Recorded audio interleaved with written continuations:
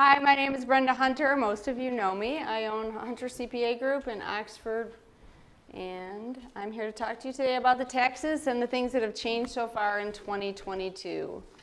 Um, these are the tax brackets that have changed for 2022. Most of it's just been adjusted for inflation, um, but as you can see, I know that you know even most of the tax brackets are stayed what they've been and just slightly been adjusted. Okay, the reason I show this to you, this is the 2022 long-term gains, uh, long-term capital gains. The reason this one's important is a lot of people don't realize that if you're single, you can have up to almost $42,000 of capital gains and not pay any capital, or 42,000 of other income and not pay any capital gains. And if you're married, $83,000. This became important back in 2020 when you didn't have to take your RMDs. And one of the reasons that Dan and Rocky are doing a lot of the RMD or the, I'm sorry, the Roth conversions, one of the goals is to get less and less taxable income for you in the future because your Social Security is only taxable as much of, as other income you have, and your capital gains are only taxable as much of other income you have. So as, as the tax rates go up, some of these other things are not as taxable if you don't have other income. I realize some of you have pension income that you, there's nothing we can do about that, but the, the IRAs and the other things, you know, we can control that if you don't have as much IRA income. Um, so now we're going to go into some of the changes that have already happened in 20, 2022. A lot of people ask me about the charity deduction. There's an asterisk at the end. So far, they've alluded to, they're going to leave that the same. So this is if you don't itemize. Very few people do anymore because the standard deductions are so high. But they've got, gone ahead and given everybody that small charity deduction that you still can take above the line if you don't itemize. 300 for single, 600 for married. Um, two years ago it was uh, 300 for everybody. Um, then they split it last year and gave 600 for married. They're alluding that it's going to be the same this year. They haven't changed it yet, but they still have a couple months. Um, HSA amounts for people who are, you, you know, for some people who are still putting in HSAs, you can't do this past 70, um, you can't do this past 75, but it does come in handy when you're um, paying for your own prescriptions on Medicare. Um, for those who are working or have their own business, um, mileage rates, because gas went up so much this year, First, they raised it to 58 and a half cents. Then July 1st, they raised it up to 62 and a half cents. So if you have a small business or your own business, um, they did raise mileage up to 62 and a half cents the second half of the year. It's the largest, um, largest amount for mileage they've had in quite a few years. Now we're going to get in um, to one of the really big things that changed this year, and that was the Inflation Reduction Act. Um, a lot of the things that did not make it into the Build Back Better got moved into the Inflation Reduction Act. Why it's called this, I don't really know. I don't think it's really going to help inflation all that much, but I think it sounds good and makes people think something good's coming. There is some good things in here, though. Um, for anybody who was on the old, they used to call it Obamacare, then now that they moved it and we're calling it Marketplace. Um, the subsidies, that was expiring, the money that was paying for subsidies for people that were on that type of insurance. This um, extended that to 2025. So if you were on Marketplace, it's now called Marketplace Insurance. This helps people to get subsidies on Marketplace Insurance um, for people who qualify through 2025. It also created, for those who don't know that, if you're on, if you, in your individual tax return, there is a minimum tax, but you still have to have a, a certain income level to trigger it. They created the same sort of thing for corporate taxes, you have to be in the billion, have to have a billion dollars worth of income, which doesn't affect most small, any small businesses really, and it has to be a C corp. So it doesn't affect pass-through businesses, but they're hoping to get some extra income to help pay for all the other stuff that they created in this bill. Make the corp, they make the corporations pay some. They also did some um, some drug reform that is supposed to help seniors and it allows Medicare to negotiate the prices of certain prescription drugs. This was a big part of the Inflation Reduction Act. Um, they also put caps on what um, Medicare recipients have to pay on their drugs. So it, the out-of-pocket costs went down for people on Medicare. that was part of the Inflation Act. This is the one that got the most attention, and this is the one I got the most phone calls about, was they are hiring 87,000 agents. um, and, and, this, and they're, they're going to fund the IRS to recover lost taxes. Now, this, they are actually hiring 8,700 agents over a 10, 10 year period. Now, every business I have in my uh, office can't hire people, so how they're going to hire 8,700, I don't know, but they claim that that's what they're going to do. Um, I would prefer that they put them in their customer service department because I've called the IRS probably about 150 times this week and I have not gotten through once. Um, so you can't call the, it's really hard to get through to the IRS. Some weeks are easier than others, but this week is really difficult. I've been trying to get through for three clients and I can't get through at all. So I wish they'd put some of these agents in their, um, in their customer service instead of their, um, but they're actually putting them in supposedly to go after lost taxes. So people don't probably realize it, but in the last few years, in 20 and 21, due to COVID and all the problems in the IRS, reviews and audits have been at, at an all-time low. Um, so this is what they're going to do. They're going to go after lost taxes. I wouldn't worry, most of the people in here probably don't have to worry too much. The, the areas that they're targeting, small businesses, um, rentals. Uh-huh.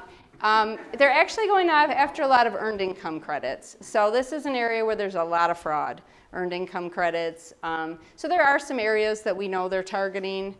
Um, but if, you know, those areas, most of the ones in businesses, there are a lot of people that have hobbies that they label a business. Um, horses is a big one.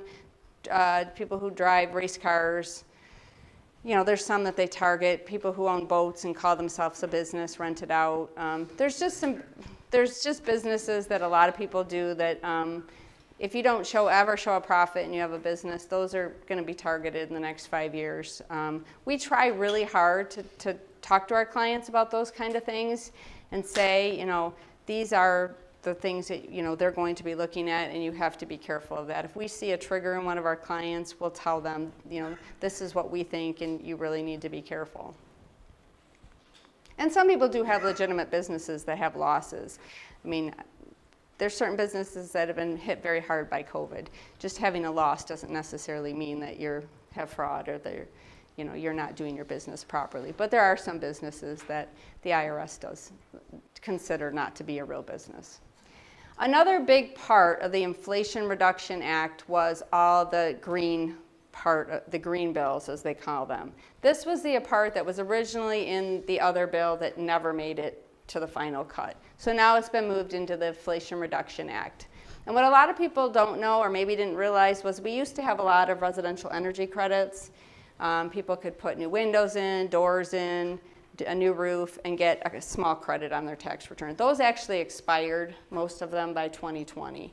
Um, the only thing you could get in the last two years was if you put in something very big like solar, geothermal, one of those big items, and then you got a credit. Most of the other ones expired a couple of years ago. So they're bringing those back. So starting in 2023, um, there's some really big credits for doing some home improvements that really, they have to qualify for you know, to be an energy, you know, improvement. Um, so it used to be a $500 lifetime limit is now replaced by a $1,200 annual limit. And these are broken down into $150 for home energy audits. That would be if you brought in, say, consumers or somebody to do an audit on your home. Um, $250 for any exterior door, $500 total, $600 for exterior windows um, $600 for other like furnaces, air conditioning, water heaters, $2,000 for specialty items like biomass stoves, you know, those would be the things that qualify for kind of a special type of heat.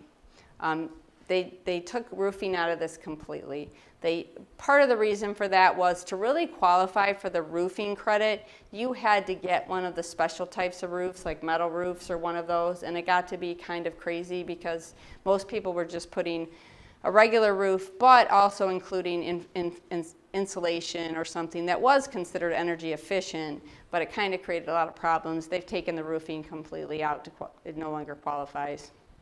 The other big item is electric cars. I know there's a lot of controversy about this, but electric cars are back in. Most of the old electric cars had expired um, the credits for them. There was a few still hanging out there in 21, but I did have some people who bought electric cars and were like, hey, I get a big credit. Well, depending on when that electric car had come on the market, a lot of them were starting to expire in 21. But they're back in 22 and they're going to go forward for several years. So you do get a $7,500 credit for the purchase of new qualified electric vehicles there's a $40,000 credit for big, more commercial type vehicles. So they're trying to encourage like schools to buy electric buses. Um, and then a $4,000 or 30 30% of the cost, that's for a used car. So you buy a used electric car, you either get a $4,000 credit or 30% of the, you, the value on it. So it just depends on which is um, the lesser amount. Um, there's an AGI limit on this now it's $150 for um, married filing joint, or I'm sorry, single, and $225 for 225,000 for married filing joint. So it's pretty high. I mean, but it just depends on. Um, but there is an income limit that didn't used to be. Um, they're also going to start creating system where, not in 22, but starting, or 3, but starting in 24, they're going to try to do this straight at the dealership, where you can get the credit and apply it right to the, which they should have done in the first place, but, um, and it applies right to the, the purchase price of the car, which will make it easier on everybody than having to buy it, then get the credit back on your tax return. Um, but that won't happen until 2024. Um, I know a lot of, we had a, several clients who called and asked us about the e-bike credit. So when the Build Back Better first was brought out to the table, it had an e-bike credit in it, and it was very, and when it actually passed the first legislation but didn't make it through the second legislation, it was way pared down by the time it actually passed. In fact, it took like eight months to actually pass. Well, what happened was all these e-bike places were, you know, talking about this and people got excited. Well, it didn't it was taken out and it never made it to the second one, so there's no e-bikes. Student loan forgiveness, I'm sure everybody's heard this in the news. This is a big thing. Um, it's an asterisk up there because it has not passed, um, but it is going to pass most likely. It's just how will it look when it passes, we don't know. Um, but the, amount of debt to be forgiven, $20,000 if you're considered lower income. That would be if you qualified for a Pell Grant um, $10,000 if you are not in that lower income category. Again, this could change, but this is what it looks like right now. Um, it's going to be based on your 2020 or 2021, whatever your last filed return is. And your income level is 125 for singles, 250 for married. Um, you will qualify for this. And it is not going to be considered taxable income for the forgiveness. Um, but again, this is still in process. They're still fighting about this, and it could change. Um, retirement plans, I get a lot of people tell me they didn't, don't have to take RMDs. That was 2020, that has not changed. 2021, 2022, you have to take RMDs. Qualified charity distributions, still allowed, still, um, you can defer up to $100,000 to charity and take it off your AGI for both federal and state to a qualified charity, do it direct through your IRA. Um, they eliminated stretch IRAs for beneficiaries. The entire balance must be withdrawn within 10 years. Roth IRAs are not required to take RMDs. However, beneficiaries are required to take RMDs of Roth, Roth um, IRAs. Um, the penalty for missing an RMD for your IRA is 50% of the amount you were supposed to take. Um, we, it's a lot, and you know the you know, basically the point is they want you to take your RMDs. So if, if it happens, we tell people to take it as soon as you realized you took it, and then, you know, we'll beg for forgiveness after the fact. Um, we have never had actually, anybody actually have to pay that penalty, so we have written a letter before on that on the behalf of somebody. So that's generally what. As soon as you realize you forgot to take it, take it as soon as you realize it. Um, the uniform life table was updated in 2022. Um, it changed the life expectancy all the way up to 119 years old. although I've heard it's actually coming back down. Um, but this is the one you're supposed to use. Most people, it's figured for you, but if anybody has multiple IRAs and needs help calculating their RMDs, I can do that for you. Just call my office. Um, Social Security, um, these are just, the numbers are updated every year for the amount you can earn if you're still working.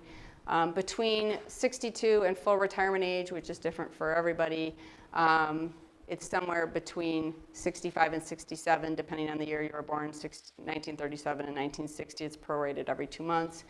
But um, you have to pay back a dollar for every $2 you go over the, that amount. 19,560 and 22, that's what you're allowed to make if you're not full retirement age. You can make 19,560. If you go over that amount and you're not full retirement age, you got to pay back a dollar for every $2 you go over.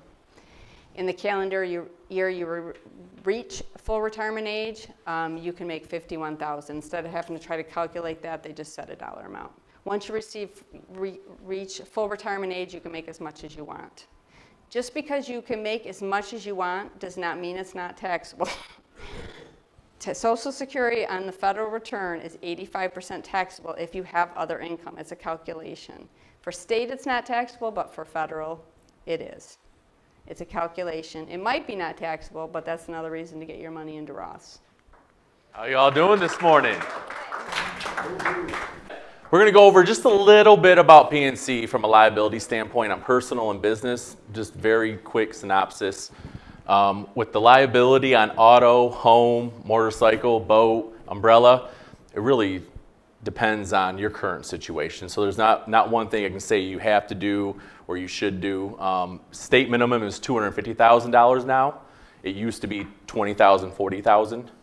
So we definitely want to do at least 250 um, you can get a written exemption to the state of michigan to be able to do $100000 but that's the lowest you can go but you have to have a written exemption for that and then the business side again you have the liability personal property building autos umbrella this is going to be vary by what type of business you have on, on how much liability you actually need um, autos is the biggest one i see when it comes to businesses a lot of them don't have enough coverage, and sometimes they have more autos on the policy than they actually have currently. I see that a lot. Like they might start out with 10, never get around, whether it's the um, insurance agent or them not calling.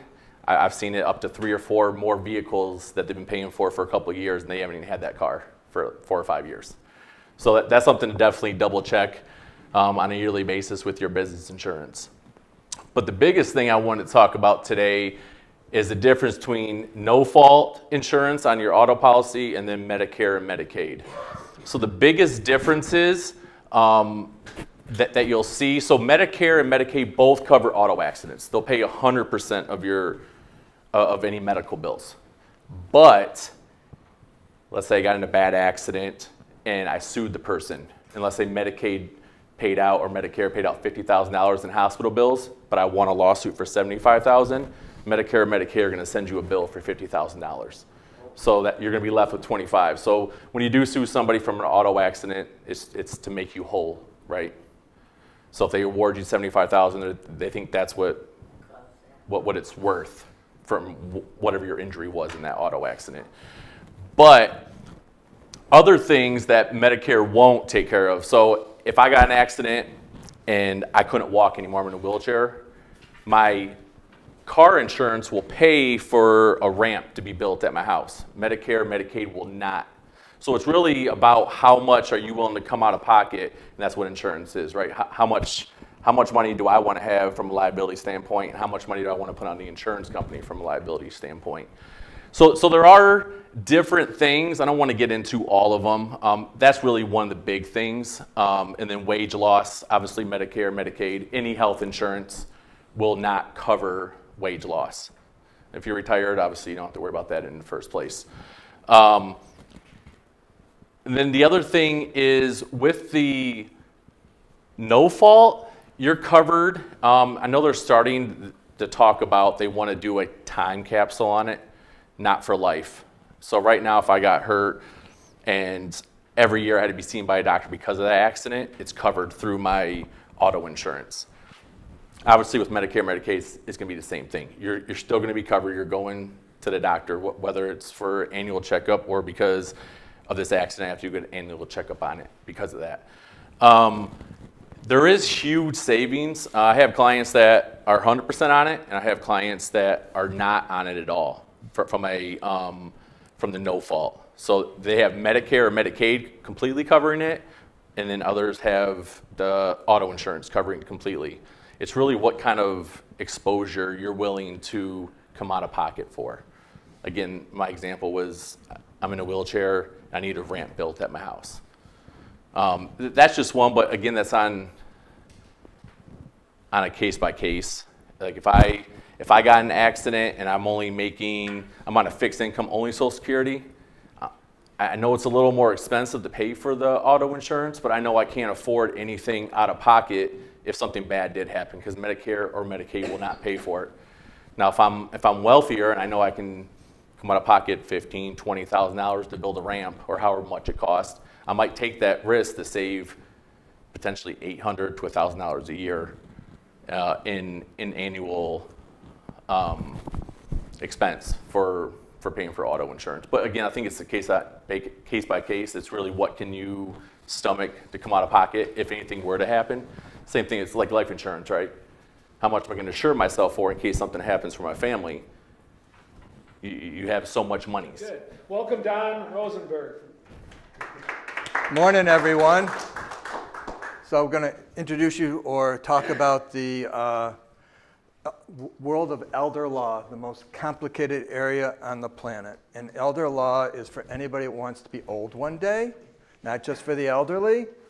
And when you do estate planning as an estate planner, I kick it up several notches and we address what the elder law is all about. I see some familiar faces in this audience. For those that have my documents, you are covered. All right? So, what's the difference between estate planning attorney and an elder law attorney? Well, a general power of attorney will limit the ability to prohibit, prohibit gifts. And we're not talking about gifts to the kids. We're talking about if you're married, gifts to each other to protect and preserve assets. I could boldly say right now, I could walk into every nursing home, go room to room and bed to bed, and I can say that everybody in this room doesn't want to go into a nursing home ever, right? I promised my dad he'd never go into a nursing home, but he got C. diff, and unfortunately, he had to be gowned, and it was a contagious disease. Man makes plans, and God laughs, so you never know what's going to happen. So there are strategies that we can do proactively to protect everything you own. If I could walk into every nursing home, go room to room, and protect 100% of a married couple's assets, and it's gotten easier because I've gotten a couple wins within the state of Michigan after they fought us. So we don't want, want to make sure there's language in, the home, in, the, in your trust to protect your uh, home.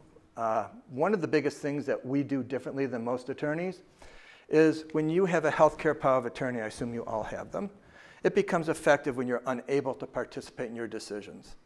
Well, my mom was 91, competent enough to make poor decisions every time. Uh, my wife had some health issues where I needed to be involved, and I didn't want to wait for them to be declared disabled to become a partner in their affairs. So basically, when we draft healthcare power of attorneys, we want them effective immediately for day to day medical care. It doesn't mean my wife can make my decisions unless I acquiesce, but we can be involved together as opposed to waiting for that disability to happen. Uh, we want to provide for children, we want to consider Medicare and veterans benefits. So basically, we do estate planning and we kick it up a notch. And if you become disabled, you have that choice. You can let super, court supervise your affairs, or you can do some special documents. Everybody in this room, you don't have to have a dime to uh, get sick. So you need the healthcare power of attorney. And the healthcare power of attorney has to address mental health law these days, as well as end of life when you're unable to participate in your decisions. And day to day medical care, we, effect, we believe it effective immediately. The financial power of attorney, it's critical. If you do a living trust, you can't put your IRAs in the document, in the trust, because it's a taxable event. So you better have a comprehensive power of attorney that allows us to deal with your qualified funds and digital assets and making gifts and protecting and preserving the assets. And not all power of attorneys are the same. I mean, I could tell stories for the next three hours. This is just like an appetizer. You're sitting down at a meal, and they give you a little appetizer, and it's not enough because you know, elder law, I can do two, three hour presentations. So we're just going to talk about, you know, just the highlights. So when we look at power of attorneys, we want them, is it effective immediately or springing? And springing means it becomes disabled. And I can't begin to tell you how important that is. Uh, if you appoint each other and there's nobody else in line, when one becomes, one's gone, one becomes disabled, you're into probate.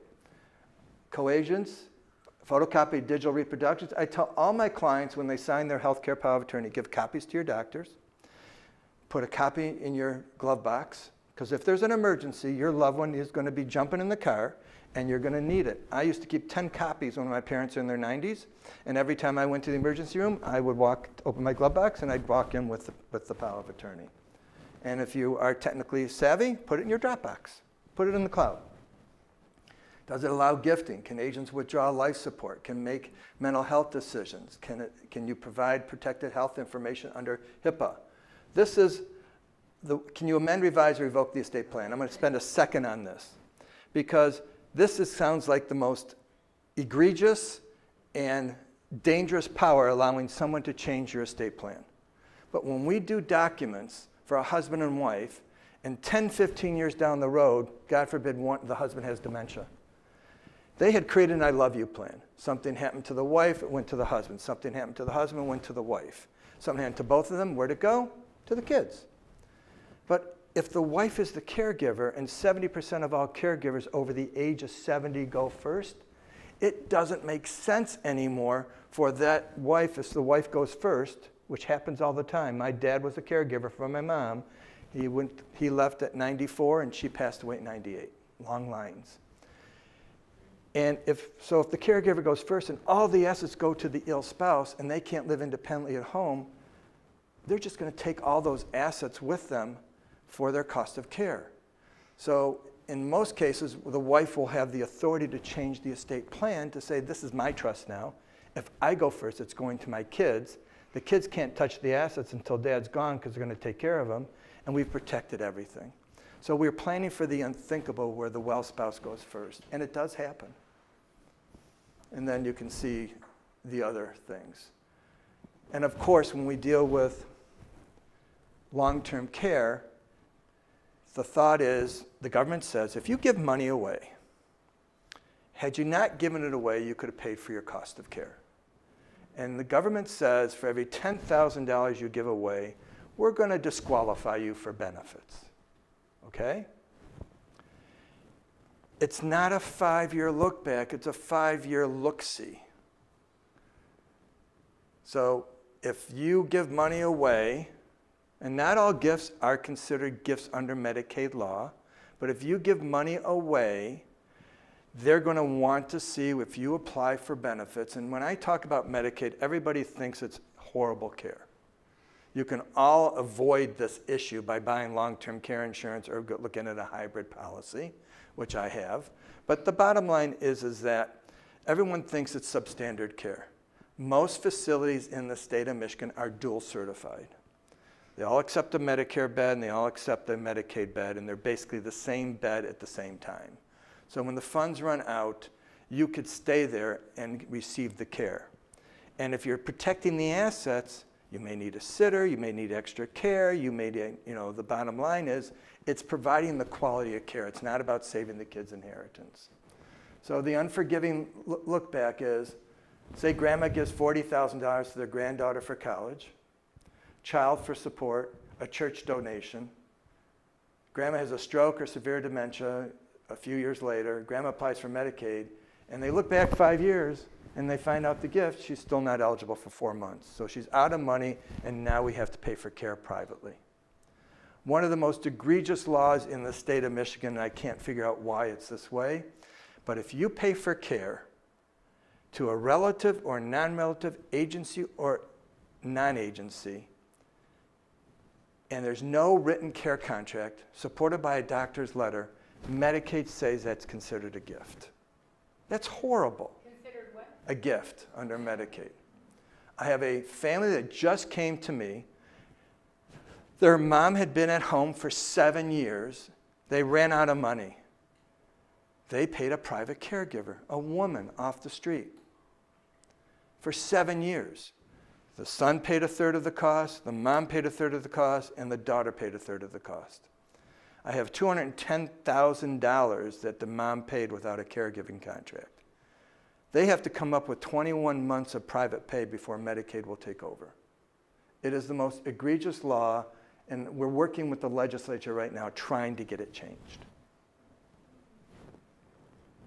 And not all transfers are considered divestments under Medicaid law.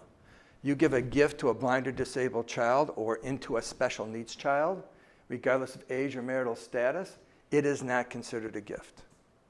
I had a family that their daughter was had MS. She was on SSDI because she worked all these years.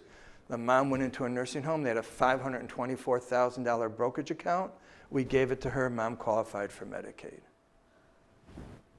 Transfer to a home to a child that takes care of you in your own home for a period of two years. And the doctor says, had you taken care of that child, if you had, had not taken care of your mom for two years, she would have needed to go someplace else.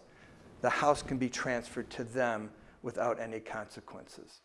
If you transfer something for fair value, it's not a gift. This is a really funny situation. I had a client come to me, and the grandson says, My grandma's in the nursing home, and we got applied for Medicaid. I asked, Let me see six months of bank statements, not five years of records. And I find ATM withdrawals every other day at the Motor City Casino for two, three hundred dollars. So I said, give me another year's of bank statements. And sure enough, there's ATM withdrawals. And grandma's 95. So what did you think? I said the grandson was taking mom's money, grandma's money, and going to the casino, right? He swore that it was grandmother's passion and he would take her to the casino all the time. And I said, yeah, right. I just happened to call the Motor City Casino. I talked to the attorney. He says, give me the, send me a couple statements and I will look up the video and look at the transactions and I will see who's at the ATM. Guess what? It was grandma. I got three videos, I got an affidavit, and we applied for Medicaid. It was a transfer value. You can do whatever you want with your money. Uh, God forbid one has a, you, you give your children $100,000 to go buy their home, and God forbid you have a stroke tomorrow. That's not a gift because it wasn't in transfer in contemplation of long-term care Medicaid.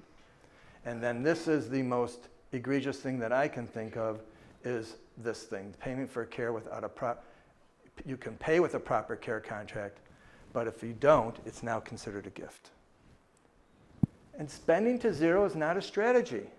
You don't have to spend your money for care. Caring for a loved one shouldn't cost the savings of a lifetime. We, we work our tails off for, the, for these issues. So we can do proactive estate planning. We can do community spousal estate planning. That's what I talked about, where the well spouse goes first.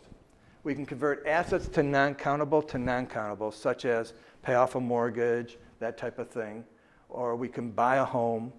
We can do half a loaf strategy, which is very, very complicated. So I'm just going to try to explain it pretty quickly. If a single person's in a nursing home, as they step in, they had the health, they had the financial power of attorney says, my daughter, you can make the gift. So let's say they give away, they have $300,000 in assets. And the daughter says, I'm going to give $200,000 and put it in my account. That's a 20 month penalty. Let's say they have income and the money that they didn't give over 20 months will pay during that penalty period. So basically, we split the money into a gift period, a gift portion, and a portion that we can create income to pay for the cost of care. So basically, what, how that's done is you take the money that wasn't gifted and you put it into a, an immediate annuity. It's like a freezer in this corner. Put the money in the freezer, we weld the freezer shut, and we get a check once a month equal to the penalty of Medicaid. When the freezer's empty, the $200,000 is protected. So single individuals using this half a loaf strategy can probably protect somewhere between 50 and 70% of the assets. But the bottom line is you've got to be proactive, or we're going to go to court and ask the court allow us to do this. And if you're in Wayne County, God help you. Macomb County, probably going to be okay. Actually, my former partner just got nominated, is now a, new, a judge. In Oakland County, there's four judges, and one may say, maybe not, the rest will be allow us. So, but then it gets costly and time consuming. So basically, you can do this with documents. Houdini, if you put your house in a trust, it causes problems. A house in a living trust is not a protected asset for Medicaid. Okay? If you have a house in a trust, I want you to leave here today and make sure that your insurance policy has your house as an addition, your trust as an additional insured. Because there's a new court case that says if it's not named as an additional insured, you may not have insurance. So make sure that you understand if you have your house in your trust, you, you have an, your trust as an additional insured. So when we do estate plans, we do ladybird deeds. A ladybird deed is a deed where you own it, you can do whatever you want with it, but upon your death, it's in the name of the trust. No probate, no capital gains, and no estate recovery. When a house is in a trust, it, we can sometimes use the value to boost what the well spouse can keep. The last thing I really want to talk about is the sole benefit trust and name on the check. I see that I'm getting out of my time, but I'm going to go over a few minutes unless Dan pulls me off. so, what if I told you I qualified Dan Gilbert for Medicaid? Not ethically. It wouldn't be a right because you know you don't qualify millionaires for Medicaid if you don't you know because everyone no one wants to go to nursing want to stay at home, we want to use our interest, our dividends, our income, and we want to stay at home for care. But do you know what the cost of home care today is? Not even close. $28 an hour today because of the pandemic. $22,000 a month. Mine was quoted well, so we'll see. For home care recently? An agency? Really? So that's basically 14, $16 an hour? I didn't figure it out, I just, Okay. thousand dollars a month is a lot. Can you share the agency with me later? Yeah, I, I, it's at home. Okay. I'm, I'm serious. I'll give you my card. I want you to share the agency. So the pandemic is caused because people can't find help. So they're paying wages are higher. So basically, the average cost of home care today is about $240,000 a year, 24 7. It's crazy. So people are looking are, not, are going broke and they want to make sure that they can protect their assets. So if a spouse goes into a nursing home, the well spouse can keep about 140,000 or half the assets up to 140,000 in a home. I'm just simplifying it. Everything above and beyond that's considered at risk. The well spouse can create a special trust. You wouldn't do this now until the time came called a trust for sole benefit. That trust is irrevocable, but it uses the well spouse's social security number, so it's not a taxable event. You can put all the assets in there except IRAs, and there's no taxable event whatsoever.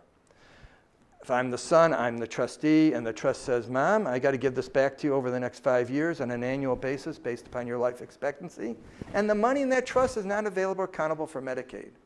The state of Michigan fought us in 2015, tooth and nail. The ca- case went all the way through the Michigan Supreme Court. It's called Hegadorn.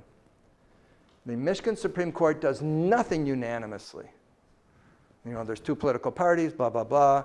And they agreed that the state of Michigan was overstepping their bounds, and federal law allows for the sole benefit trust.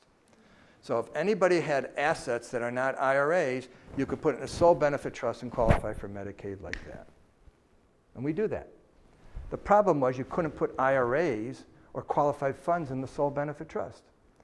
So I recently had a client that was willing to be a test case. They said they had a $90,000 IRA. The dad was in a nursing home. The IRA was in dad's name. They had to cash it out, and we could put the net amount into the sole benefit trust. They said, no, we don't want to do that. So I filed a Medicaid application, and I got the insurance company somehow, some way, to issue the check on the immediate annuity from the husband's IRA to the wife. So her name was on the check.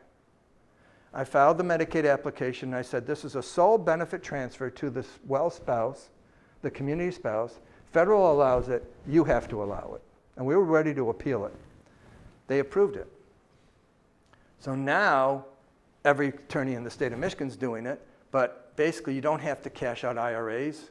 You can just put the name on the check if it's the well spouse's IRA or the ill spouse's IRA. So now with this strategy, we can protect 100% of a married couple's assets. So as I said, this was an appetizer. It's the most complicated area on the planet. So, three takeaways today Everyone should have a financial elder law durable power of attorney with the ability to regroup when we need to, including making gifts between husband and wife or to kids. Everybody should have a health care power of attorney. I would propose that it should be effective immediately for day-to-day medical care and that everybody understands if there's a health challenge in your life or to your loved one or to a family member, whoever you know, caring for a loved one shouldn't cost the savings of a lifetime. Spending to zero is not a strategy. And we can protect and preserve the assets. And it's not about saving the kids' inheritance. It's about making sure that they get the best quality of life in the least restrictive setting at the least cost to you and your family. Okay, what are we going to do today? We're going to talk a little bit about how this year's been going. Uh, it's, it's been interesting. Um, you got some economic growth still going on there, so that's, that's a good thing. Uh, inflation, well, that's kind of troublesome right now, and it seems to be holding on a little longer than uh, most thought it would. And then you got how the effects of all that is affecting the stock market. So we'll talk about a few things that are really kind of driving uh, some issues out there that we're a little bit concerned with and that we're watching and looking for strategies for you. Now, I think everybody in here is familiar with City National Rochdale's uh, economic and financial indicators. So we put this out on a monthly basis, and um, if you recall September's, September's didn't really look good, and uh, unfortunately, everything that has a square box on it is going the wrong direction from an economic and financial standpoint. And uh, the thing that you, a couple things you want to take away from these, these dials here is this is forward looking. So we're looking out six to nine months and saying, all right, what are things looking like in the future here? And when we see the dials go in the wrong direction, what does that tell us? Well, we're not through this mess yet, right? There's still, there's still some problems coming down the road. So we've got to keep an eye on that. The key is to try to figure out how do we navigate this with the least amount of downturn in the portfolios. Uh, and I'm going to come back to this slide because it's relative to some of the uh, uh, slides we have moving forward. Now, inflation. Inflation is one of the, the big things we're hearing about. And did anybody hear what the new numbers were for, for last month? Uh, inflate, the, what was the, the yeah, 8.2%. And they thought it was going to be 8.1. Uh, they were optimistic. I'm not sure that 10 basis points really makes that much difference. Uh, but at, at, the end of the day, it came in a lot worse than, than we all thought it was going to be six months ago. So this is, this is lingering. And the, the, the, the knowledgeable people, if you will, or the people who kind of know uh, what's going on from an economic standpoint, really feel this is going to be taking months and months and months to rectify the, the, the inflation aspect of this. Now, um, when you think about the Fed relative to the inflation, the Fed has basically two big tools in their arsenal to try to get things under control. You've got interest rates, or they could buy and sell assets.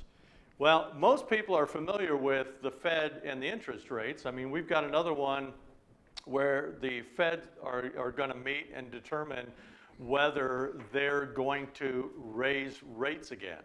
So from a federal standpoint, you've got the open market committee that gets together, looks at all the economic data, and then makes a determination. Do we lower rates? Do we raise rates? Do we keep them the same? And as you all know, over the last three hikes that we've had, they've gone to raising the rates up. And the unfortunate part with this, and I understand what they're trying to do, they're trying to slow the economy down and hopefully slow inflation down.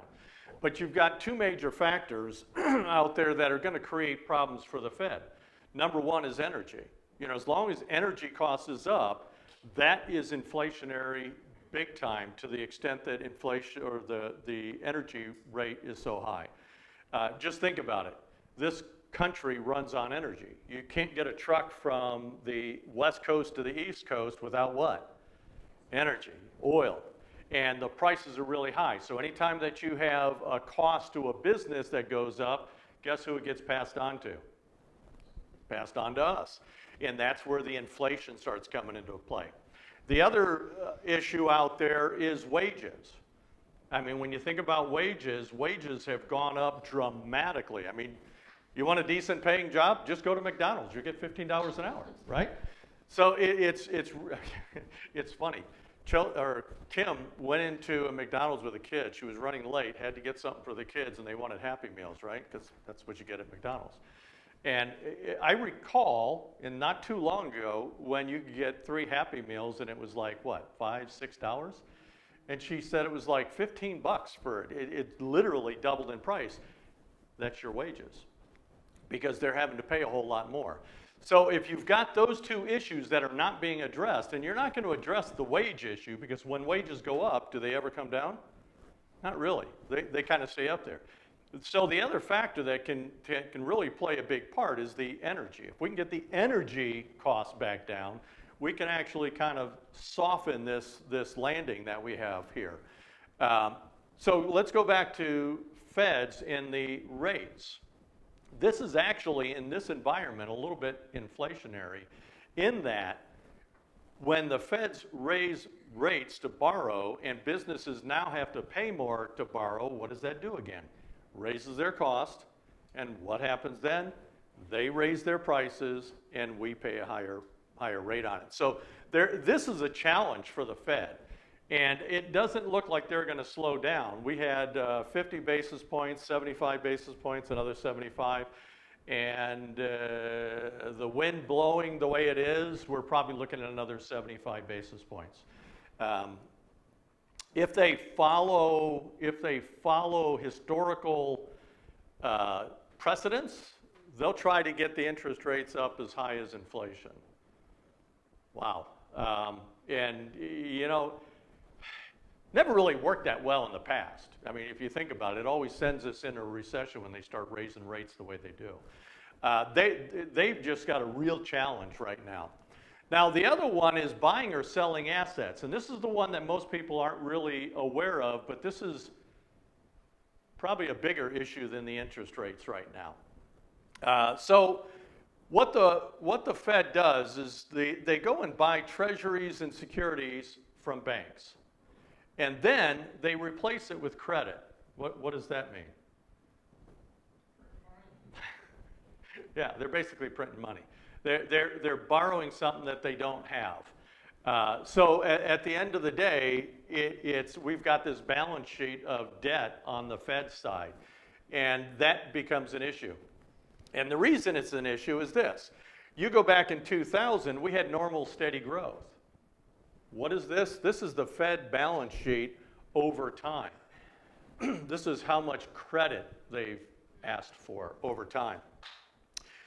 2008, we had the financial crisis.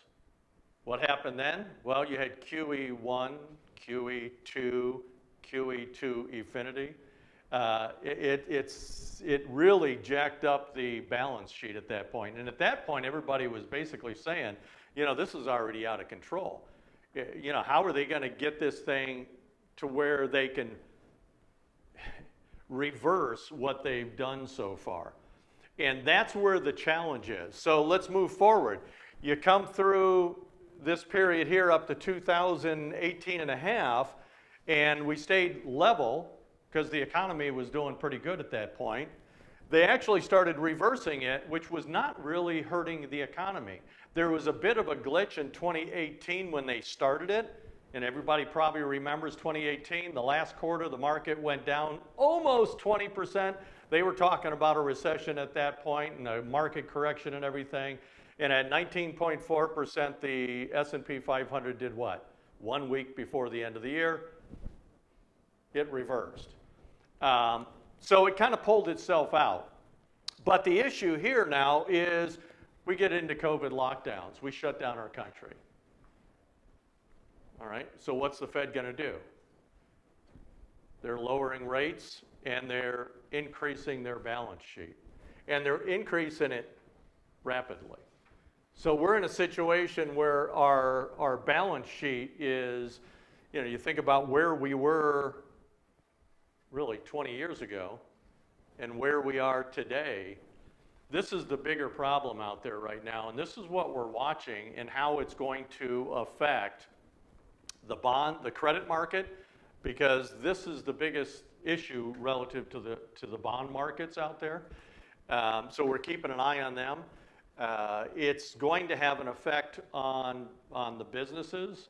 So the, the question is, is how do they unravel this situation? And how long is it going to take to do it? They can't do it real fast because that would tank the country. We, we all know that. So at this point, we've got to kind of watch to see how they try to slow it down. If we have a robust economy, they could start slowing it down and be probably relatively okay 20 years from now.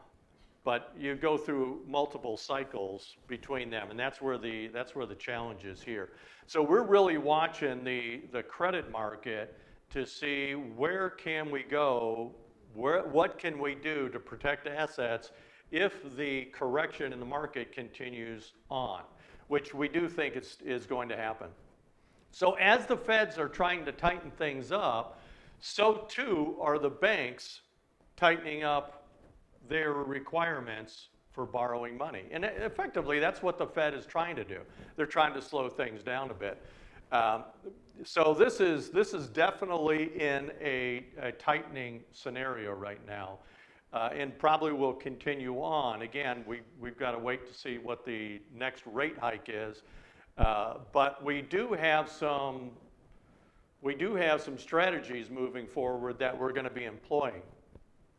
Now, speaking of slowing things down, you got the manufacturing index, the service index. The manufacturing index is really, it, it's slowing down pretty good right now. Again, that's what the Fed's trying to do. Uh, but ultimately, the manufacturing, when you slow down too much, it tends to go negative before it pulls itself back out. Um, when you think about it from a service standpoint, not so much. It, it's a lot more resilient and it doesn't go down into the negative quite as often. So there, we're not too bad over here, but it is slowing down. But the manufacturing is, is, is slowing down, and it's not, it's an interesting thing because we got supply shortages, right? And they're saying part of the inflationary problem is the supply shortages. And we're taking away the ability for manufacturing to actually get the product out to try to get the prices down because it's a supply and demand thing, right? It's basic economics. Now, when you think about the stock market cycle and the economic cycle, they don't necessarily go hand in hand. They don't go in tandem. Um, when you look at this chart, the stock market is your dark blue, your economy or economic cycle is the aqua. And what we're looking at here is the average over time between uh, recessions, from one recession to the next to the next, giving you an average of how it actually plays out. So in this, you've got the market going up, it peaks, and it generally peaks before the economic cycle does. And if everybody goes back to school and, and you think about the economic cycle, Economy 101, your economic cycle starts out with an expansion, gets to a peak, everything's happy right then, people are just really kind of spending money, everything's good. Then we get into a contraction, and that's where the recession comes in. So as the market's going down, everything's tightening up at that point. We get to the trough, and then we're off to the races again. We get into another expansion. And this is a cycle that just repeats itself over and over and over again. How long the cycle is or how short the cycle is, well, that depends on uh, policy. So when you look at this, the economic cycle is lagging the market cycle. So when we were really kind of, I mean, we were at the top of the market in, in say, the beginning of January, but you saw the cracks already starting in September and maybe even a little bit before that in the overall stock market. But the one thing that I want to point out with this, when you look at when the market hits bottom and you look at when the economic cycle hits bottom, you've got about a six month lag between that. So the market might start recovering before anybody feels like things are getting better. And why is that? Because overall, they're just not getting better yet from an economic standpoint. So this is, this is something that we watch very closely, and we want to take a look going back to the, the 20 economic indicators that we look at. Are the dials going in a negative direction, or are they going in a positive direction? And if they're, if they're still moving in that negative direction, what does that tell us? It tells us we're not out of this yet. We, we got a little more uh, running room that we have to work through. And it's going to be a bit on the volatile and it's going to be a little on the uncomfortable side. Uh, the good thing for, for our clients is we've got strategies to employ relative to these, these type markets. Um, so we're looking at the indicators. When we start seeing the indicators stop going the wrong direction, it probably means we're close to a market bottom. Now, can we tell you exactly when that market bottom is? No, that's kind of a fool's errand. We're not going to try to time the bottom. Uh, but at the end of the day, we have to be able to look at the signs and get a feel of where things are going. so we put about 85% of our weight in those economic indicators, and we put about 15% weight in charting. And you've all seen us work through some of the charts, and we'll go into that in a little bit. Um, so speaking of charts in the stock market, again, January 3rd, which was my mom's birthday, and I think we broke the bank because the market just started collapsing right after we had the party. Um, so market's going down. It's been a very wild ride all the way up and down. And most of you know that we've, through two different major tranches of, of money, we pulled money out of the stock market, about 10% in this area out of most everybody's five, you know, profile six or profile five portfolios. And then we did it again right around here, but we took 15% and we actually took it out of all the port, or most all the portfolios. And this was designed because when you go back to that credit chart, you know, the Fed balance sheet and what that's doing to the bond market, you know, historically, it, you had places to go before, right? You, you know, the, the stock goes up, bonds go down, bonds go up when the stock market goes down. That, that's not happening right now. We're at a situation where the stock market's going down, and then what's also going down? The bond market. So the bond market's down about 15% right now. That's pretty significant because that used to be the safety net. So when you hear about companies saying, hey, I'm overweighting in equities or I'm underweighting in equities or I'm overweighting in bonds, it's because they're shifting their portfolio to accommodate what's going on in the overall market. Uh, and for us, if you don't have bonds to go to, where do you go? Cash. So we're underweighting equities, we're actually underweighting bonds, and overweighting equity or uh, cash at this point in the portfolios. And again, we're not going to try to try to time the bottom because we don't exactly know where that is. Uh, it's interesting because at th- this was the first support level the market was talking about saying, hey, if we can bounce off that, we're going to be in good shape. Um, I don't think we're bouncing off of it. We're, we're I think we're going to go through it. And it's really interesting because the next support level's down here at about 3273, which is a significant drop from where we are right now. Um, if you look at yesterday's market or the results of yesterday's market, the S&P 500 dropped to 3491 before it rebounded and came back up. Well, that number is pretty significantly below this, this uh, support level. And generally, not all the time, but generally when you break through a support like that, intraday, there's a good chance they're going to come back and try it again. Uh, which is why we're, we're feeling like we're getting closer to this one than this being the actual support level. So if we, if we think we've got the markets potentially going down even further, what do we do? Well, most of our clients have somewhere between 20 and 30% in cash right now, which is significant, right? If you think about 2008, for those of you who were with us in 2008, 2008, we went, I think we had 40% in cash during that crisis because it was the same situation. Stock market was going down, bonds were going down at the same time. Now, the bonds pulled out, which was a great thing, but for, for quite some time, it, it was going the wrong direction.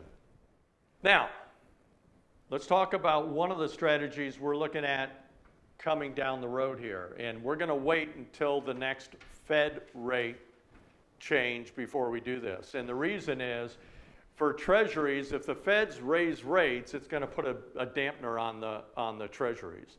So if you've got treasuries that are low in value, we can kind of buy it at a discount at that point. That kind of makes sense. It's on sale at, at that rate. Uh, so what we're looking at is laddered treasury stat- strategies. And you can set these up for really almost any, any duration you want from three months on from there. Uh, but just to give you an example, you can have a three month, six month, nine, 12, and 15 months. So let's say this is a 15 month bond ladder strategy. In three months, that first one's going to come due. And we have an option. Is the market in good shape? Do we want to put it back in? Well, if it's not, we can roll it back and buy another bond and just keep following that sequence. Uh, now, the, the interesting thing is it will create income. Now, you've all heard me say I don't really like dividend income or I don't like interest income. Why is that? You pay a higher tax on that than you do capital gains. So I'd rather pay capital gains tax than ordinary income tax. And for anybody who is below gosh, I can't remember the number. I think it's 40,000 in income. You're paying zero capital gains. So what would you rather pay? Ordinary income on interest or capital gains? Capital gains. It's zero against whatever your ordinary income rate is. Uh, so that's why we don't normally like it. But these are extraordinary times right now, right? We need returns. We need to get them someplace. Uh, so we're going to be looking at this strategy, but we're not going to employ it until after the Fed's declare what the new rate is. Uh, it's really designed to smooth it out the ride a little bit more and bring in something. Because from a cash standpoint, do you bring a lot of money when it's when it's sitting in cash? No, you, it's virtually nothing because you're sitting in a, a, a, money market account that might be making two basis points or 20 basis points or something like that. Well, with this, you'll make more. Uh, this allows us to own the treasuries directly as well within this ladder approach. And the duration we're looking at is really six months to three years. Now, what I want to tell you is the net rate of return is going to be somewhere around two and a half to three percent. That's net of fee return. Uh, so when we're looking at this, we're, if the three month or six month duration is almost as high as the three month, guess what we're going to work with? A three month duration because that keeps us more liquid and makes it liquid faster. Uh, so uh, at the end of the day, this is a strategy we'll be looking to employ instead of pulling more cash. We'll, we'll just start putting uh, a position set up in each one of the client's accounts through the ladder bond strategy. Does that make sense? Doesn't, doesn't make sense? At the end of the day, if the market continues to go down, we want something that's going up. And if this is one of the only things that's going up, this is kind of where we want to be, at least for the short term. It's not something we would do long term, per se. All right, then I'm going to bring Rocky back up, and uh, he's going to close us out here. Resources. We're going to be adding something new to our webinars. We're getting our AssetMark, our back office strategists that do all the analysis to start putting out some materials that we can pass on to you guys. So you're going to start seeing us giving you some short, maybe 10, 15 minute videos from AssetMark strategists directly. Okay? Dan and I are still going to do monthly updates on our webinars, and we're going to continue to do our quarterly live updates like this.